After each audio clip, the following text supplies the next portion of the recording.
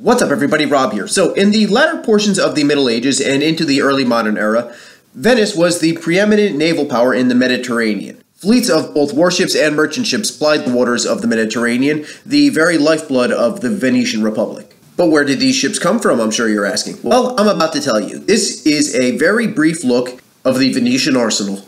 Okay, so it started in the early 1100s with the Crusades. Now, the thing about the Crusades is that it's very difficult to get overland. Uh, Frederick Barbarossa tried it, it didn't really work out too well for him. Most Crusaders, however, were a bit smarter. What they do is they would go to Venice, or actually very popular, they would go to ports in Sicily, and from there they would get on ships and travel to the Holy Land.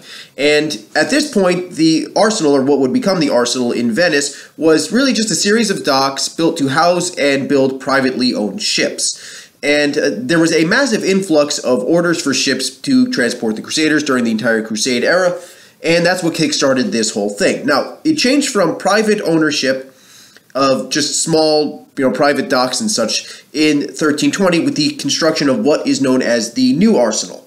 And it was at this point that things took a turn for the modern. Now, shipbuilding would be taken over by the state, and both warships and merchant vessels, the lifeblood of the Venetian economy, would be manufactured there.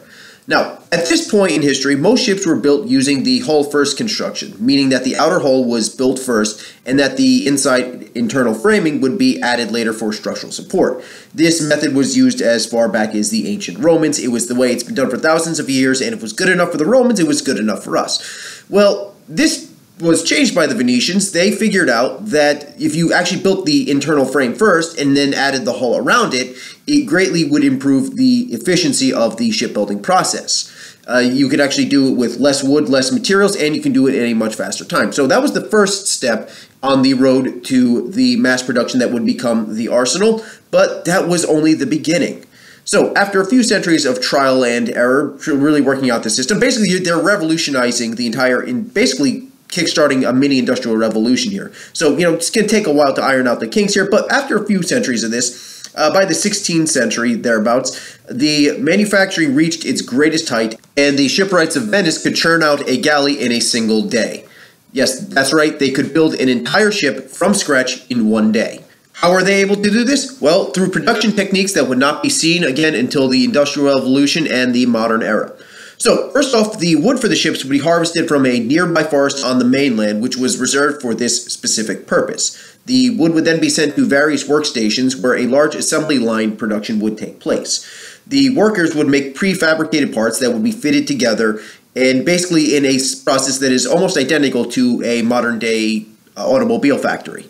Now, in traditional shipbuilding, the ship would be built on location with all the different parts added on, with all the materials being brought to that location and then built and then made specifically for that, that specific ship, which is highly inefficient, as all the parts had to move to a single location and then added onto the ship and made individually one at a time highly inefficient and ultimately a waste of time, energy, and resources that could best be allocated elsewhere. Instead, they adopted, the Venetians adopted what is known as a flow shop method, which is the theory behind, well, a modern assembly line. The hull of the galley would be built, you know, again, with the frame first construction like we described earlier, and then it would be towed to each station where the masts, the rudders, the rigging, and all the other additions would be fitted on. This greatly improved the speed of construction basically because of repeatability. You have the workers simply doing one single task repeatedly over and over again. It was much more efficient than basically doing everything from scratch right from the beginning. The this is kind of an early form of interchangeable parts. So we're not quite interchangeable parts yet, but the parts of the ship, say the rudder for example, would be prefabricated using a standard template. So the people who make manufactured rudders would just keep churning out these specific rudders. The mass would be based on a pre-specified template. They would get the materials, they would carve everything out the way they needed to, and they would just do so over and over and over again. Now this meant that they could focus on that task only, and they were able to increase their productivity in this manner. Now again, this is not quite interchangeable parts. When the it came time for the mast and the rudder and the other parts to be fitted onto the ship, there would have to be some slight adjustments made for each individual ship because you know there are some variances there. We're not talking machine precision yet, but we are basically a major step towards the idea of interchangeable parts. And this is very similar to the Liberty ships that were used during World War II, which again were prefabricated uh, ships using a standard template that were then fitted together at a shipyard and then sent out into the Atlantic to probably be sunk by a U boat. But hey, that's another story for another day. The Venetian arsenal became the byword for efficiency. For example, in 1574, Henry of France, while visiting the Venetian Republic, was eating lunch and during the course of his meal watched the fitting out of a galley, a process that could take several days, if not weeks, in other locations. They managed to do it in the course of a meal. At its height, the Venetian arsenal employed over 16,000 employees, which was over 10% of the entire population, making it the lifeblood of the Venetian economy and were able to churn out, in some cases, more than a single galleon a day. For example, in 1570, they produced 100 galleys in two months. These ships would be absolutely vital in the Battle of Lepanto in 1572, blunting Ottoman advances into the Mediterranean. I'll probably do a video on that. Maybe, maybe not. I don't know.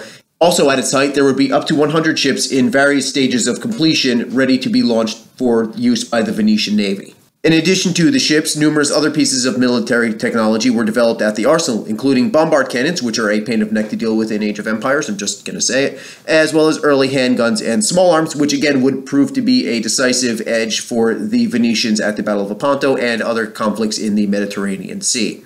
Now, there were some downsides with the arsenal, and that came with the human side of the arsenal. Now, groundbreaking as they may have been at the time, the arsenal would be a disaster for modern assembly lines. And there were just basically to be expected growing pains when you're basically trying to revolutionize economies in this sort of way. There's going to be some issues. Uh, the big issue was that the workers were paid by the day and not by the productivity, and they were hired for life. So all a worker had to do was get the job, get hired there, and enter the facility, and boom, they received a day's pay regardless of any actual work done. It was also extremely difficult to actually fire employees, short of them actually stealing or doing something illegal. So basically, you can imagine this was ripe for abuse. So uh, anybody who would be too old to work or too sick or injured or anything like that, they would basically just drag themselves across the gates and they would just enter the facility and you know just basically like clock in by to use a modern terminology and they would get a day's pay and they would basically then just sit around you know, being non-productive. And this was actually true for healthy workers too. Guys who were fully healthy, capable of working,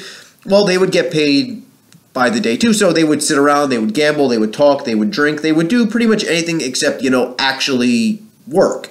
And you can just imagine how this was well, this was abused. And also, there would be a great deal of double dipping. Basically, people would show up there, get paid for the arsenal, and then they would do a job there for something else. They would do crafts work or uh, any kind of manufacturing for another facility, another like a private institution, and they would get double the pay. And there was also a constant issue of theft, and people would be using the tools there or just stealing the tools and the other materials available and using it for their own projects and not using it for actually, you know, building ships and doing what they were paid to do. So, yeah, uh, in a modern assembly line, this would absolutely not be tolerated and would basically just drag down the efficiency and actually did drag down the efficiency to a degree. But, you know, hey, you know, we got to start somewhere. In spite of these issues, the Arsenal was still able to maintain a very high productivity rate, and that kept Venice as the preeminent naval power in Europe. About 10% of Venice's total expenditures were sent to maintaining its naval fleet, and other smaller arsenals were built throughout the burgeoning Mediterranean Empire. Particularly, there was one in Corfu, Greece, but these were more of maintenance stations throughout the Mediterranean rather than major production centers, but the idea is still pretty much the same. Now, all good things must come to an end, and as the centuries wore on, Venice's power declined, and the arsenal's production declined with it. Production at the arsenal would finally shut down altogether with the dissolution of the Venetian Republic in 1797 with the arrival of a particular Corsican corporal. No prizes for guessing who that is. The arsenal would be rebuilt, and currently it is a naval training base for the Italian Navy as well as a museum and ship preservation site. So, in the spirit of efficiency of this particular video, I actually got this done in less than 10 minutes. Yes, it's not entirely comprehensive, but you know what? You got the basic ideas here. I'm not an expert on this subject. It's just something I found interesting, and I figured I'd, you know, share it with all of you guys. And uh, yeah, I got it done in less than 10 minutes. This has got to be some sort of record for me. Probably isn't. I don't know. Any case, uh, yeah, that's pretty much it. I hope you enjoyed it. Any case, please hit the like and subscribe button. More videos will be coming out whenever I get around to it.